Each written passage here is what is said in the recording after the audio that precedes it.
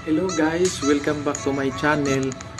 Kung kayo po ay bago pa lang at napadaan sa aking channel, huwag niyong kalimutang i-hit ang subscribe button. At pati na rin notification bell para ma-notify kayo pag may bago akong video na ina-upload. Tapos yung comment at saka i-share na rin. Okay? Ngayon guys, pupunta tayo sa bridge at doon uh, itutour tayo ng kasama nating duty on the bridge.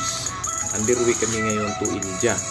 So ngayon, itutour niya tayo doon sa bridge kung ano pang meron doon sa bridge. Okay, let's go!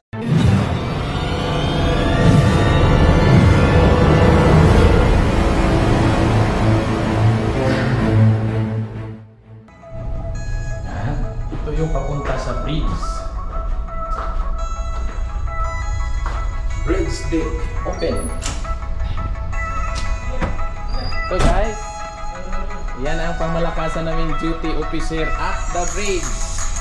Wala na mo. Buha ka ko. Ano? Card na lang. Second officer. Second officer. Taga sa aga shout out dyan. Taga Naparimos. Paringos. taga Mindanao guys. Taga Mindanao. So guys, ito yung mga sanlo ko. Kababayan ko yun. Kababayan ko. Taga saan? Taga saan ka sano?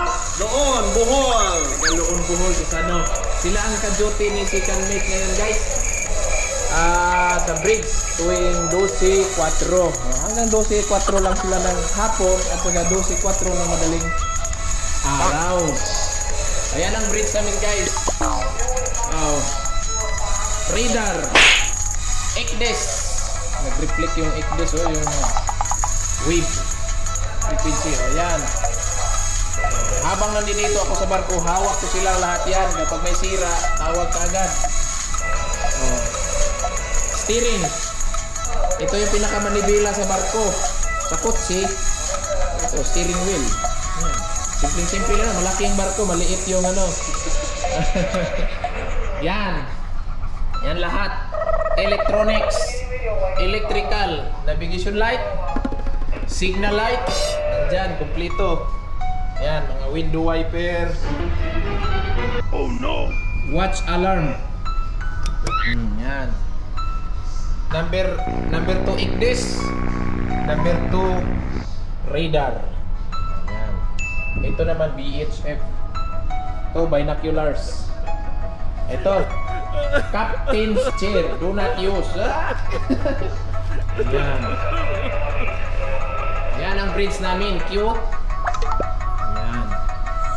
Ang duty oh. Future captain someday. Ewan ko lang.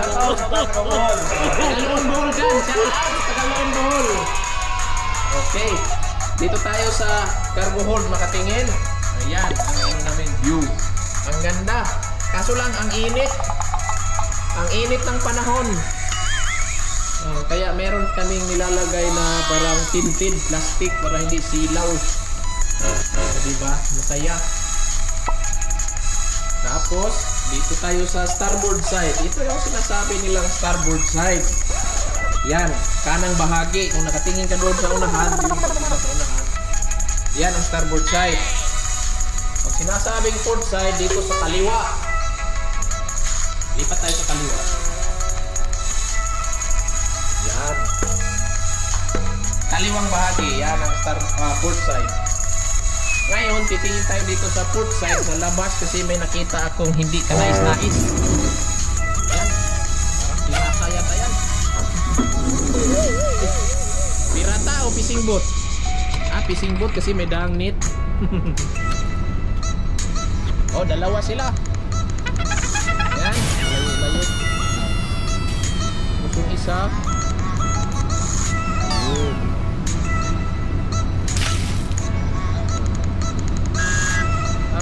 Fishing boat dalawa, makikita yan sa radar. Yan. Kaya kapag may lumapit sa amin tulad ng nangyari sa sa Somalia, yung, yung si Captain, ano ba yun? Alabama, Maersk, Alabama. Parating yung skip dito sa Pupa, nakikita namin sa radar yan. Yan ang ano na after. Puwitang bahagi ng barko.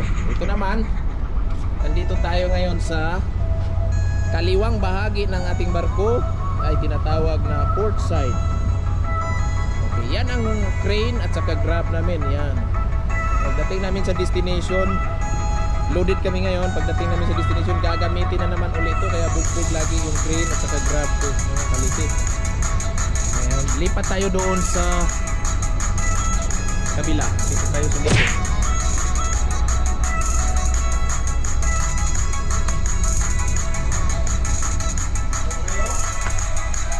Boat. Titingnan natin sabi ko. Rida. Rida. Nasaan ang fishing boat dalawa? Ayun. Ito yung daanan natin. Ito yung way. Yan, waypoint to waypoint. Yan ang dalawang fishing boat. Okay. So ito naman kami sa Igdis. Kaso lang nag-lard yung Igdis. Nag nag-reflect yung screen niya.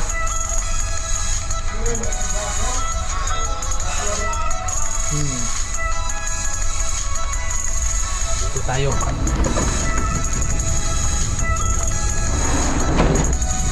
Ayan. Ito. Magnetic compass. Ito, searchlight. Yan. Pang searchlight yan, mga pang ilaw-ilaw yan kung may mga ah, pilot on board. Yan. Ito tayo sa starboard side. Ang init mga kaliki. Hmm. Ganda ng dagat oh. Okay, pasok na tayo kay very hot. Very very hot mga kaliki. Baka mangitim ako. Yun. Ngayon, dahil underway tayo, ang destination namin mga kaliki is going to India. Paradip, India. So, nandaming mga virus doon. Kaya, mag-ingat-ingat lang tayo mga kaliki. Ngayon, ang steering wheel natin is naka-automatic. Hmm. Sayang hindi ko na-vlog yung nagloko yung steering namin. Pero ngayon, okay na. Ngayon, naka-autopilot tayo oh. So yung steering natin, pabayaan lang natin yan. Bahala ni si automatic dyan, magtimon-timon dyan. Tapos yung RPM natin ngayon is nasa 109 RPM. Rocketing towards India, Paradip. So tumatakbo lang tayo ng tumatakbo lang tayo ng 11.9 knots. Mabagal. Mabigat si Kuan. Mab- Mabagal lumangoy. Ayan. Paano mo nga, paliwanag mo nga sa akin, Sano? Hello guys, ito pala. Mali. Yan si Sano, Ah, paliwanag natin. Wala ako yung naka-duty ngayon, AV duty ngayon, di ba? Mali. Oo nga yan, bali naka-auto tayo ngayon, guys. Yung auto, automatic na yun siya. Tapos dito, ito yung sitting cross natin. Kumbaga, yan, ipipindutin lang. Halimbawa po sa 3 to 3 to 2 yan na to, gawin din 3 to 1 yan. Kumbaga automatic na yan siya, pupuntang 3 to 1. 3 to 1 degrees. Dito Tapos- lang tayo mag ano, adjust. ad- adjust. So, ito, ibalik natin sa 322 kasi yun yung original ano, di ba? Yan ito, babalik naman sa 322 na course guys. So yun ang ibig sabihin ng autopilot. Sa steering, kung ano ang settings mo doon, si autopilot, sunod-sunod na lang yun. Adjust, adjust, automatic. Saka for example, kung naka hand steering naman tayo guys, Hmm. i-ano natin sa ano to sa hand steering. Ano ba yung hand steering? Ay, yung hand steering, kumbaga, may Manual. Mag, manual, kumbaga may magmamaniho na dito guys. Kumbaga may magdadrive na. Bali itong knob na to, ilagay nito sa steering ah, sa manual na manual mode. Manual mode. Tapos, Pag- pwede ka na magtimon-timon pwede dyan. na magtimon-timon. Tsaka, ito guys, kung nakita nyo dyan yung 10 to 10 to 40 degrees, dito yan mag-ano din. Meron din yan dito sa steering seat. Halimbawa kung yung kapitan natin o yung piloto mag-ano ng starboard 10, ililik ko natin sa starboard 10 kasi yan, automatic na papunta nyo sa starboard 10. Dito. Oo. Tapos halimbawa kung anong kurso yun, Ibali, ang tawag nito indicator. o yan, indicator lang siya. Indicator. Tapos dito guys, kung halimbawa pag kung kurso ng mis- mismong kurso. Ano naman to? Ito yung gyro guys. Ah, Compass repeater yan. compass repeater. Tapos kung halimbawa kung nasa 320 tayo ngayon. Oh. Pinto, pinto. Sinsa na guys, pinag-alarma yung water For tight example, doors. Okay, continue. nakahintay tayo sa tapos tayo, bali 320 na yan. Tapos halimbawa kung piloto, yung kap si kapitan mag-ano ng magkukuman na 3 ah 330, yun. Pupunta siya sa 330, tayo na mag-adjust dito sa steering. Papuntang 330. So, 330 yan. 230. Bali 320 tayo ngayon pero kung sila halimbawa mag 330 pupunta yun sa 330 bali going to starboard yan so itong ano itong steering natin Pili tayo dyan. pipiwi tayo sa pa- badang kanan starboard no? Starboard. pag pag 330 na Oh. sabihin mo na pag abot ng 330 naka-steady na 330 sabihin mo na sa piloto o kay kapitan yun yun guys Alright. O yan, mga kalike, naintindihan na natin. O mga napadaan lang sa aking channel, naintindihan tayo natin kaunti. So ayun mga kaliki, nakita natin, naikot natin ang buong bridge. At yung view, kung ano ba talaga ang mayroon view dito sa cargo ship. Sa mga baguhan, so hindi pa nila alam yon So ngayon, mayroon na silang idea kung ano ang mayroon doon sa cargo ship. Maraming salamat mga kaliki. Ah, sana ah, suportaan nyo ang aking video. Huwag nyo kalimutang i-subscribe para sa susunod pa nga video ulit. Thank you mga kaliki. Bye-bye. Alright.